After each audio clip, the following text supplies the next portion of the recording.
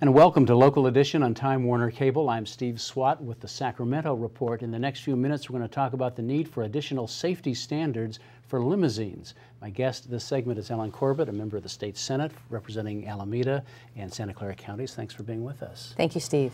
This legislation clearly was prompted by, I guess, a series, it seems like a series of two really horrific accidents. And yes. uh, recently in May, there was a limousine fire and five uh, young women died, and yes. in June there was another limousine fire, and nine escaped, but it was yes. a close call.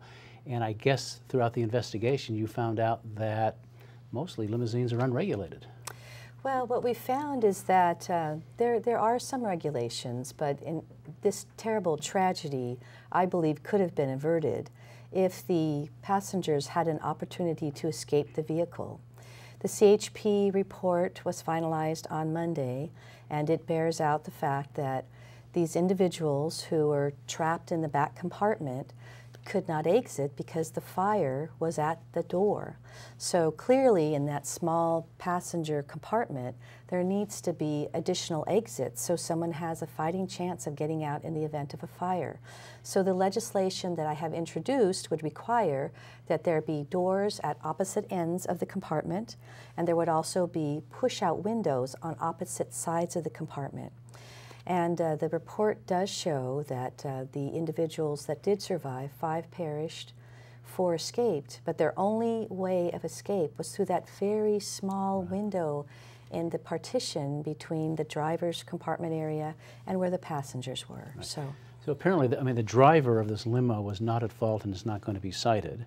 The yes. limousine company is not going to be cited either, although I guess you could make a case that the limousine should companies should be responsible for maintaining their vehicles.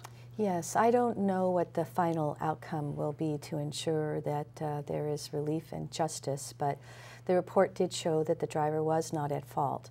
But the report also did show that there was a problem with the weld in the vehicle and that the fire came up through the seat and then the passengers had no way of exiting in time as the fire spread. And your legislation is sailing through, isn't it? Yes, it is. It's gotten support uh, throughout the process, and I believe that it will pass as well um, out of the, on the assembly floor very soon. Let me ask you a question. Uh, federal law says that you cannot impose a state cannot impose or enact vehicle safety standards that are in conflict with federal law. Yes. Was that a problem for you? I this? don't think that is going to be a problem because the standards, you know, are different depending on the type of vehicle. This is sort of an interesting situation because these limousines are usually aftermarket modified, so there are regulations that apply to, you know, um, manufactured vehicles, and then this is, would be an aftermarket situation. And I think your bill also includes uh, safety instruction for yes. passengers. Yes, very important. Would require that before the passengers leave uh, in the vehicle that they would be given safety information, how to escape, what to do in the event of a fire, the sorts of instructions that you're given when you are on an airplane or another common carrier. So this would go a long way to help people understand if in fact there is uh, you know, an emergency, they know what to do. Right. Well, these two recent incidences are, are just incidents are just uh, very, very tragic, yes. especially that one on the San Mateo Hayward Bridge. Yes. And uh, so I'm sure a lot of people are looking forward to some some sort of new new action to try to prevent it. Yes, so. absolutely. And today we actually asked the uh, state auditor to perform an audit to determine whether funds that are received by the PUC are used appropriately as well. All right. Well, we're out of time, but Senator Corbett, thank you very much for coming by. We appreciate it. Thank you very much, Steve. And, and thanks to our viewers for watching Local Edition on Time Warner Cable. We'll see you next time.